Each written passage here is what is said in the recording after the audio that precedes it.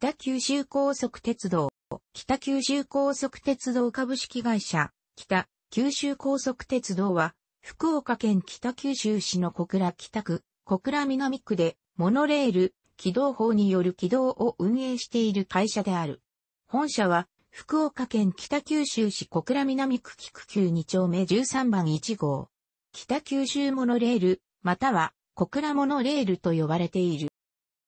北九州市の小倉北区と小倉南区とを結ぶ小倉線を運営している。当初、北九州市による直営も検討されていたが、1972年、昭和47年11月17日に交付、施行された都市モノレールの整備の則に関する法律、都市モノレール法による都市モノレール建設のための道路整備に対する補助制度の適用を受けることになり、その事業運営主体として、北九州市が52%、民間が48%を出資する、資本金22億円の第三セクター会社として1976年、昭和51年7月31日に設立された。民間48%の内大口出資企業は、西日本鉄道がおよそ20%、次いで、九州電力が6%、他に、新日本製鉄が6%、住友金属工業が5%、新日本製鉄、住友金属工業の両社は2012年、平成24年10月1日に合併し、新日鉄住金となったなどとなっている。当初の計画では、国鉄、現 JR 九州小倉駅北口地区の進行を狙って小倉駅の北側に起点駅を設ける予定であった。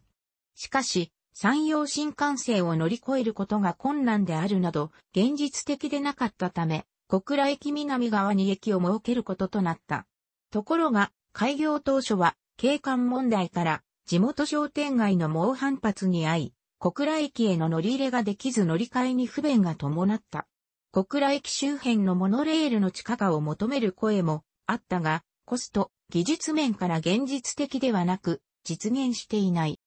小倉駅での徒歩連絡という不便のために、モノレール利用客数は予想を大きく下回り、長期間にわたる赤字の原因となったが、1998年、平成10年の小倉駅乗り入れを機に利用者数が増加、単年度では黒字を出すまでになった。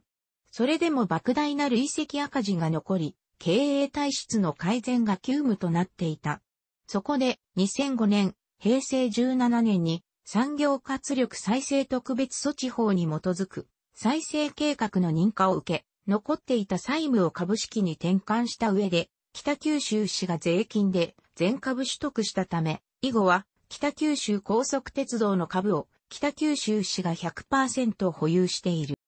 小倉線の建設は、西鉄北方線廃止と引き換えの事業でもあったため、開業時には、西鉄北九州線の一部の乗務員が移籍している。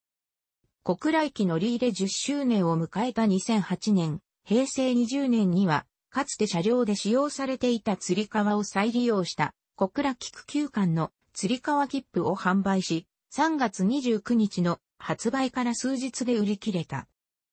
大人普通旅客運賃、小児及び障害者手帳所持者は、半額、10円未満切り上げ。2015年10月1日改定。